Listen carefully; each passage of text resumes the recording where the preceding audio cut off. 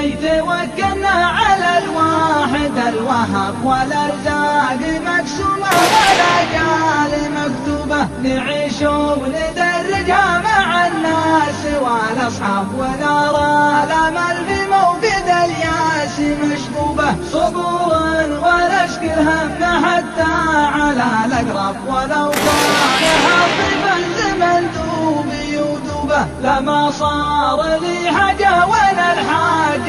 طلب أشوف الكوف واشد في خطوتي صوبة. عصامي ذات وابذل الجهد والأسباب وشخصية الرجال تظهر من اسلوبه خزان الحياة لابو تكفى ترى الاطراف ترى خد وبيت الشعر ميال على قلوبه فيا وجد عيني وجد من واجه العرب وسيفه